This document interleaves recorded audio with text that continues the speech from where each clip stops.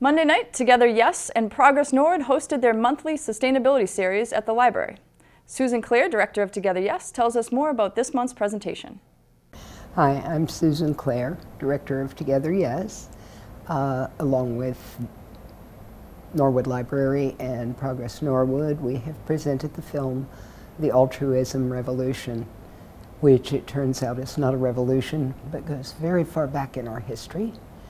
Um, it was more about scientific research into whether altruism actually exists and the difference it makes in us when we behave altruistically and our tendency to behave altruistically even as children, very young children. And somehow, sometimes that gets taught out of us. And that is not how we are going to save the world, which is in a lot of trouble. We are going to save the world by getting back in touch with altruism, compassion, and empathy for everyone on earth.